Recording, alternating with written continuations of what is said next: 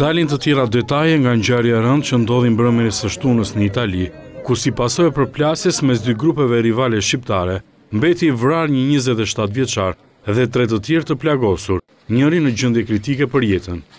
Si pasojë të shtënave me armë zjarri, ka humbur jetën Kasen Kasmi, Referuar mediave italiane në mesin e të plagosurve, është edhe vëllai i viktimës.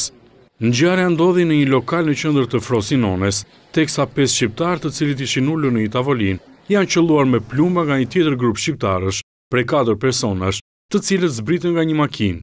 Nga të shtënat njëri prej personave që ishte në tavolinë mbeti i vdekur në vend, ndërsa tre të tjerët mbetën të plagosur.